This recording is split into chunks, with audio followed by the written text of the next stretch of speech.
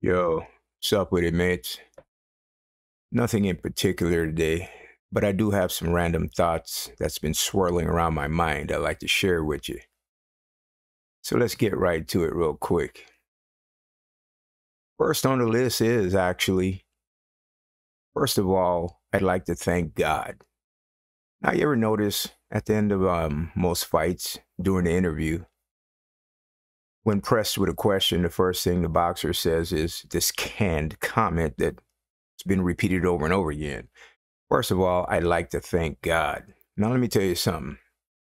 Why are boxers always firstly thanking God during post fight interviews for blessing them? I don't think God is pleased by them beating another man or woman for sport or financial gains. Most of these boxers don't even go to church or attend Sunday school or even live their lives according to the Bible.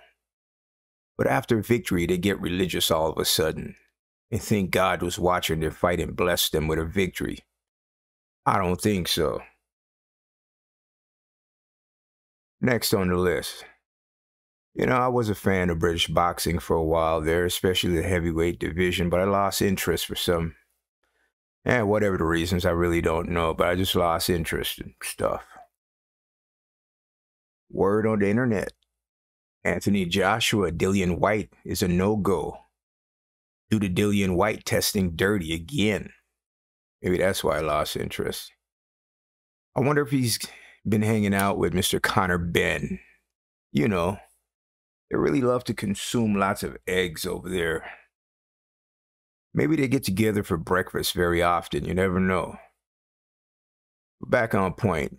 Can Joshua get a replacement opponent on such short term notice? Is the question. Hmm. I wonder who would be able and capable of such short term notice. Hmm. Let me think for a second here. Who would be available? Ah, Andy Ruiz. Why not? After all, this is the way they end up fighting each other in the first place, remember? Big Baby Miller came back dirty they got Ruiz on short term notice. The rest is history. Plus, I'm going to tell you the truth Joshua and Ruiz has unfinished business as far as I see it. Eddie Hearns should be jumping on this ASAP before time runs out. Moving right along, Jake Paul versus Nate Diaz. Don't lie, you watched it. I did. Not gonna lie, my curiosity got the best of me. Several things I noticed though. Nate Diaz literally cannot throw a punch. Diaz also has no defense, as in zero, none. I'm not talking about putting the guards up when the opponent is punching either. Tell you the truth, I've hit punching bags that had better defense than Nate Diaz. Jake Paul, though, love him or hate him, he showed slight improvements in his boxing, I will admit. I think he now understands the benefits of attacking the opponent's body as he demonstrated last night upon Diaz. He also demonstrated that he has the ability to use the ring better by maintaining his space. I was slightly impressed, to tell you the truth, but hey, he still needs a lot of work. Oh, well, let's see what we got here. Mike Tyson is rumored to be training Francis Ngannou to fight Tyson Fury. The former UFC heavyweight champion, Francis Ngannou, will have one of the most legendary fighters of all time in his corner when he crosses over to the boxing to fight heavyweight champion Tyson Fury. Look, man, Mike Tyson was indeed a great boxer, fighter.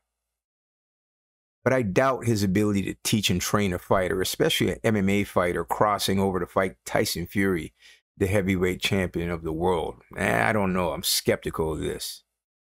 I'm sure Tyson will attempt to teach Ngannou the peekaboo style. I mean, that's all Tyson knows, and it works for him brilliantly. But that's the first problem. Ngannou could, could possibly learn the shoulder roll from Floyd Mayweather easier than the peekaboo from Mike Tyson.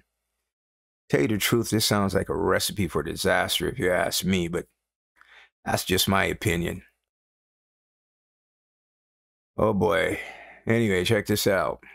as you all know, Claressa Shields called out Keith Thurman. I don't know what she saw in him that um, maybe a weakness. You know, he lost his hair. Maybe he's a little weaker. Who knows? But anyway, she called out Keith one time Thurman and even went as far as to post videos of her blasting men during sparring. Who were these weak, weak ass male boxers that she appeared to blast about the ring with great ease? Is my question. Were they book publishers? Software engineers? I mean, bartenders, casual dudes popping in the gym on their lunch break for a few rounds? But seriously, she can't honestly think that she can beat a professional male boxer. Even a, let's say, amateur three two minute rounds fight.